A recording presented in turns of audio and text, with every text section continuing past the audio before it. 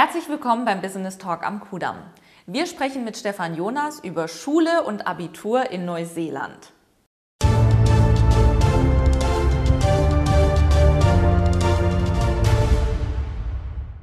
Sie sind nicht nur Regisseur, Sie sind auch Unternehmer, Sie vertreiben Manuka-Honig, aber nicht nur das, Sie sind auch Vater. Welche Werte wollen Sie Ihren Kindern mitgeben? Die wichtigsten Werte, finde ich, kann jeder für sich selbst entscheiden, aber aus meiner Lebenserfahrung heraus war es immer mein Ziel, meinen Kindern drei Sachen mitzugeben.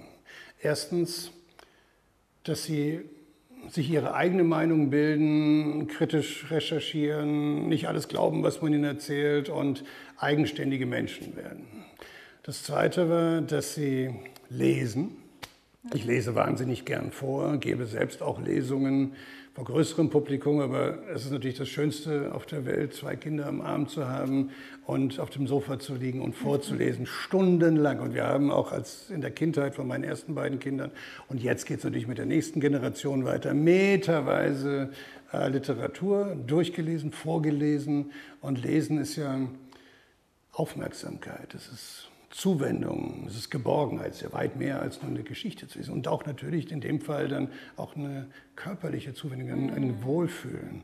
Und das hat dazu geführt, dass meine Kinder, auch heute schon erwachsen, die ersten beiden, immer ein Buch bei sich haben und selber mittlerweile auch ihren Kindern weiter vorlesen. Und das dritte ist Reisen. Mhm. Und als eben diese ersten beiden weil ich das große Glück hatte, viel in der Welt unterwegs sein zu dürfen, als Kameramann, erst dann als Regisseur und dann später als Filmproduzent. Einfach als die 11 und 13 waren oder wurden, ich gesagt habe, komm, euer Vater war ein halbes Leben in der Welt unterwegs, ich zeige euch mal ein bisschen was davon. Und dann waren wir erst ein paar Mal in England, dann in Kanada und dann natürlich der Klassiker Los Angeles und durch Death Valley und Las Vegas, Grand Canyon und mitten in Monument Wells sagt damals meine ältere Tochter zu mir, Papsi, so nennen die mich, Papsi, ich möchte gerne nach Neuseeland. Dann habe ich gesagt, was, wo kommt das denn jetzt? Ja, completely out of the blue. Mhm. Und habe ich gesagt, hat was mit Lord of the Rings zu tun, was damals natürlich recht mhm. hip war und wir auch gerade gelesen hatten. Nein, nein, nein, nein, nein. Da war sie 15 in der 10. Klasse, ging sie gerade so dahin, dass, nein, aber sie hatte gehört, dass eben in Neuseeland die Menschen so easy, laid back, positive, alles irgendwie so ein bisschen entschleunigt ist und die Landschaft so toll sei. Mhm. Und sie möchte da gerne hin für ein Jahr äh, und nach der zehnten einfach so ein Gastjahr dort machen. Habe ich gesagt, das recherchieren wir, das ist toll, das ist eine gute Idee. Und dann stellte sich heraus, dass äh, wenn die, das Schuljahr beginnt in Neuseeland Ende Januar, ist also durch die Winter-Sommer-Verschiebung genau umgekehrt oder ein halbes Jahr auseinander wie hier. Und dass die Schüler dort zwar ein Jahr runtergehen können, mhm und steigen ja hier quasi nach dem in der Regel Juni, Juli, Ende des Schuljahres dann zum Term 3 ein. Also die Neuseeländer haben Quartale unterteilt, sind immer Terms so genannt, also vier pro Jahr. Und man steigt dann nach einem halben Jahr in Term 3 dort unten ein und kann da ein Jahr mit dabei sein. Alles gut und hier weitermachen in sein Abitur. Aber wir fanden dann eben auch heraus, dass wenn man noch ein halbes Jahr dranhängt, also ein ganz, also anderthalb, six Terms insgesamt in Neuseeland absolviert, dass man dort das internationale Abitur erreichen kann und was hier in Deutschland, selbst in Bayern und Baden-Württemberg anerkannt wird, um studieren zu können. Und da meine Töchter genauso viel Lust hatten auf die Schule wie ihr Vater, war es natürlich klar, wenn wir ein halbes Jahr sparen können und ein internationales Abitur haben, toll, das wollen wir machen.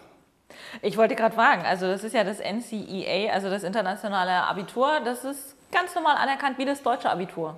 Ja, man muss witzigerweise dort unten auch noch, damit es hier auch funktioniert, einen Deutschkurs dann übernehmen. Das ist natürlich ganz praktisch, um die um den Durchschnitt noch ein wenig zu erhöhen, weil man ja in der Regel mehr weiß oder besser ja. Deutsch spricht als der Lehrer. Aber tatsächlich, ja, ja, es ist so, es gibt bestimmte Fächer, die man natürlich nehmen muss aus bestimmten Kategorien und also eine Sprache, Naturwissenschaft und so weiter, wo man sagt, ein Riesenangebot da, aber natürlich ausgerichtet, wenn man schon eine Idee hat, was man hier studieren möchte. Und ich sage jetzt, was weiß ich, ich möchte ganz gerne ins Graphic Design oder ich möchte in die Physik oder Biologie, macht es natürlich Sinn, auch das dort unten schon aufzunehmen. und nicht nur Segeln und, äh, und Campen und Geologie. Also insofern ist es, äh, dass es auch als Schulfächer gibt dort unten. Also es ist fantastisch. Die Schulen in, in, in Neuseeland sind ganz anders ausgerichtet, als das hier der Fall ist. Es geht darum, eben selbstständig denkende Individuen zu fördern, ihre eigenen Talente zu fördern, kritisches Hinterfragen, also das, was ich mir immer gewünscht habe und was eigentlich so ziemlich das Gegenteil ist von dem, was hier passiert auf den Schulen. Leider, es ist sehr, sehr nach Steiner auch ausgelegt oder angelehnt danach. Und es hat aber auch jedes einzelne College oder dann auch später ähm, ähm, University, aber jetzt erstmal College ab der 11. Klasse, ähm, seine eigenen speziellen Ausrichtungen. Also es gibt eine Schule in, in Auckland zum Beispiel, die einen Schwerpunkt Gestaltung noch hat, Grafikdesign, äh, CGI, also solche ähm, gestaltenden, äh, auch wahnsinnige Ausrüstung, also in Richtung Gestaltung geht, aber auch Richtung Kunst, also im Sinne von auch Tanzen, äh, Schauspiel, Filme und so weiter. Deswegen hat sich eine meiner Töchter ganz besonders, weil die will Schauspielerin werden, dafür äh, interessiert und dort auch beworben. Aber auch in Wellington zum Beispiel äh, gibt es Schulen, die spezialisieren sich dann auf irgendwelche Sportarten. Oder es gibt ein College, was nur Reitsport macht, sehr, sehr elitär. Also einfach ein ganz, ganz großes Angebot. Und die Schüler in Neuseeland gehen aber zur Schule dort unten nicht nur um zu lernen. Natürlich muss man, hat man dort auch Aufgaben oder, oder schreibt Arbeiten und Tests, aber es ist so viel Freizeitangebot da dass ähm, man sich auch am Wochenende trifft. Es gibt am Wochenende auch Kurse wie also Stand-up Paddling, Swimming with Dolphins oder Segeln. Aber wenn man Geografie zum Beispiel belegt, hat man fast jedes zweite Wochenende irgendeinen Exkurs in irgendeine Region. Es geht, man geht gemeinsam zelten, man erlebt unglaublich viel miteinander. Und auch am Nachmittag oder am Campus, da ist immer Leben. Also es ist ein ganz, ganz, ganz, ganz großes Geschenk an die Kinder, wenn man sie dort zur Schule schickt. Ja, es hört sich richtig toll an. Ich würde jetzt am liebsten gleich auch so nach der 10. Klasse nochmal dahin. Und äh, eine ihrer Töchter, die hat ja sogar gesagt, ähm, zwei Jahre mehr Kindheit. Das ist richtig. Das war ein ganz, ganz wunderbarer Moment mit meiner ersten Tochter, die reflektierend, also zwei Jahre nach Abschluss der Schule zu mir sagte, als wir irgendwann mal irgendwo am Lagerfeuer saßen, äh, sagte, Papsi, ich danke dir nochmal, denn du hast mir zwei Jahre mehr Kindheit geschenkt. Und das fand ich einen unglaublich reifen und tollen Satz, denn die Schüler dort unten, es ist einfach noch, man bleibt einfach, oder andersrum erklärt, wenn man hier so die 10. Klasse langsam hinter sich hat, dann geht es ja auch so mit Partys und was weiß ich, wir nehmen Kasten Bier, gehen runter in den Fluss und feiern und, und, und. Das ist dort unten nicht. Man darf dort keinen Alkohol öffentlich trinken und so ist auch gar nicht deren Kultur, äh, da so, so früh schon Gas zu geben. Mhm. Und natürlich trifft man sich, natürlich äh, gibt es da Communities und, und, und, und Spaß und auch dieses Zelten zum Beispiel, oder man geht abends den Strand. Nur es ist so dieses wir bleiben da einfach noch länger so in unserer Freude, in unserem Jugendlichsein. Und es ist auch mit Strafe wirklich verboten dort unten. Also vor 18 gibt es da sicher keinen Alkohol. Und wenn man da mit dem Alkohol auf der Straße erwischt wird, dann sitzt man im Flieger. Also das ist ganz, ganz hart. Und daran halten sich alle, aber es ist auch kein Problem, weil es einfach gar nicht so zelebriert wird wie hier. Und das ist natürlich auch ein weiterer Punkt. Man lebt dort in, in Gastfamilien, man äh, hat eine Horizonterweiterung in der Kultur, teilweise auch, äh, man kann natürlich Maoris und, und reisen und alles eben auch erleben, sehen, kann dort den Hacker lernen, wenn man das möchte. Also es hat einfach eine unglaubliche Horizonterweiterung. Ja. Und damit ist es wirklich ein Geschenk fürs Leben. Das nehmen die Kinder mit. Und auf den Schulen selbst sind ja auch so viele internationale Schüler aus allen Teilen der Welt. Das heißt, wenn die ihr Abitur haben, dann haben die ein Netzwerk auf der ganzen Welt von ja. Freunden. Das ist natürlich ja. ein Traum. Ja, also man merkt, Sie sprudeln da vor ah, Begeisterung, wenn Sie darüber sprechen. Und Sie unterstützen ja sogar auch fünf Schulen in Neuseeland. Hm. Ähm, wie sind Sie dazu gekommen und warum?